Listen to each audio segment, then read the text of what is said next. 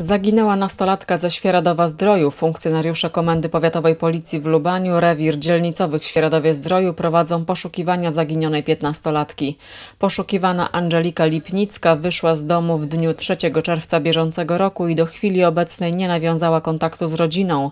Rysopis zaginionej, wzrost 160 cm, waga 45 kg, szczupłej budowy ciała, włosy proste, długie, blond, oczy piwne. Osoby, które widziały zaginioną lub mają informacje o jej miejscu przebywania bądź inne informacje mogące przyczynić się do ustalenia jej pobytu, proszone są o kontakt z funkcjonariuszami z Komendy Powiatowej Policji w Lubaniu lub rewiru dzielnicowych w Świeradowie Zdroju.